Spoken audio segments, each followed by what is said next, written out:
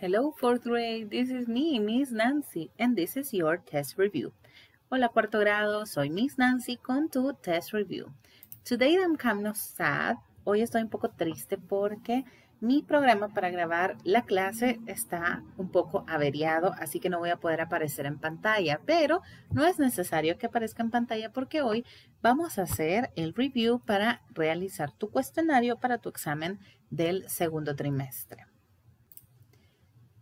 Este cuestionario puedes entregarlo de dos formas. Puedes imprimir las páginas y contestarlas o también puedes copiarlas en tu cuaderno si no tienes impresora y contestarla. Este cuestionario no se puede entregar de manera digital porque en el examen anterior tuvimos un par de problemas. Así que solamente se puede entregar con fotografías en Google Classroom. So, tienes que tener a mano tu cuestionario para poder ver esta clase y que resolvamos juntos y estudiemos para tu examen. Vamos a ir a la primera página, que es la página número 26, para que vamos a utilizar para contestar la primera parte. En esta página teníamos que escuchar el track number 12, el track número 12. En tu examen, el track está en forma de video, en donde vas a poder ver a los personajes de este track para que te sea más fácil contestar las preguntas. Puedes reproducir ese video cuantas veces necesites para contestar esas cinco preguntas de esa parte del examen, ¿ok? So, vamos a escucharlo ahora juntos para contestar también el cuestionario.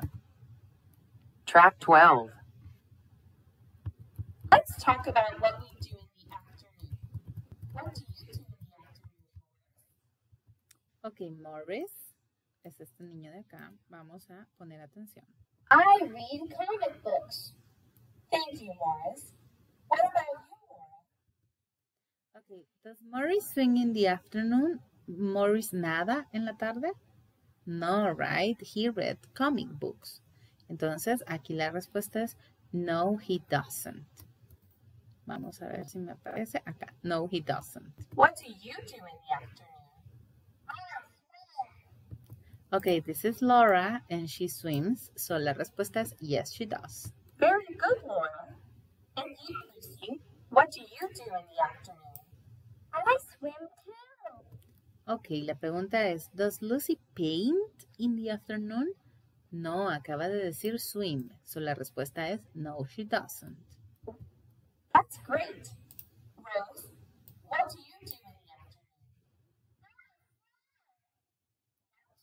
Okay, does Rose fly in the afternoon? Yes, she does. How do you fly, Rose?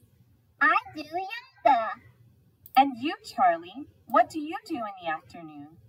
I paint. I want to be a painter. Ok, Charlie dice que paint because he wants to be a painter. Y aquí la pregunta es, ¿Does Charlie read comic books? No, he doesn't. Ok, so estas son las respuestas que se colocarán en tu cuestionario y las respuestas que verás en tu examen. Debes seleccionar la respuesta correcta según el audio. ¿Ok? Vamos a movernos ya a la página número 38, que era en donde teníamos que unir los inicios de las palabras con sus finales. Entonces, para el caso teníamos flying, flying, inside, inside, ok. Teníamos This is out like this. Ah, está un poco difícil. ok. Planting. Aquí teníamos sunny. Aquí teníamos windy. Ok. Acá teníamos outside. Si te fijas, el inicio de la palabra es amarillo y el final es naranja. Ok. And cloudy, que está por acá. Oh, and catching también, que se me estaba olvidando. Entonces, las palabras eran flying, planting, inside, sunny, windy, outside, catching, and cloudy. En tu examen, yo solamente te he puesto las primeras letras, así como acá, in, Y te he puesto unas rayitas que indican cuántas letras le hace falta esa palabra. Para el caso inside le hacen falta cuatro, vas a ver cuatro rayitas en la parte de abajo. Uno, dos, tres, cuatro. ¿Ok? So, this is page 38. En tu cuestionario te pido que escribas lo que le hace falta al inicio de la palabra. And that's all. ¿Ok? Vamos a movernos ya a la page 40. Aquí no hay necesidad de escuchar el audio porque es la tabla del 9. ¿Ok? 9 times 1, 9 por 1 equals 9. 9 times 2 equals 18. 9 times 3 equals 27. 9 times 4 equals 36. 9 times 5 equals 45. 9 times 6 equals 54, 9 por 6. 9 times 7 equals 63. 9 times 8 equals 72. 9 times 9 equals 81. And 9 times 10 equals 90. ¿Ok? Esto también está en tu cuestionario. So, esta segunda parte también está en tu cuestionario. Vamos a representar con dibujos y con la operación matemática este problema. There are nine bags of cookies, nueve bolsas de galletas. Each bag has four cookies. Cada bolsa tiene cuatro galletas. How many cookies are there? Ok, es una multiplicación. Nueve bolsas por cuatro galletas. 9 times 4 equals 36. There are three rows of apples in the fruit store. Hay tres filas de manzanas en la tienda de fruta. Each row has nine apples. Cada fila tiene nueve manzanas. How many apples are there? 9 times 3 equals 27. Vamos a colocar las manzanas.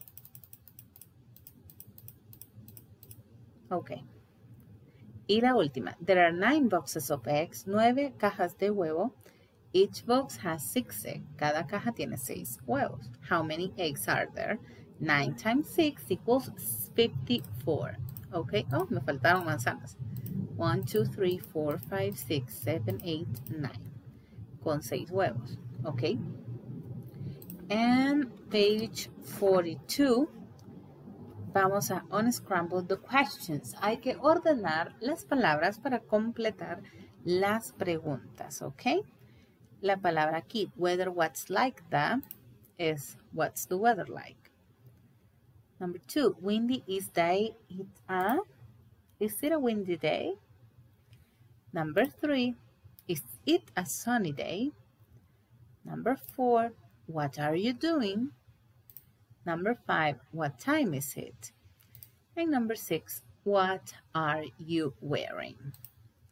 Vamos a hacer un review del vocabulary de la unidad número 3. En tu cuestionario te pido que dibujes algunas de estas palabras y de la unidad 3. Y de la unidad 4 te pido que le pongas el nombre a algunas imágenes. So, afternoon, baseball, comic books, do chores, evening, grandparents, morning, soccer practice, watch and weekend.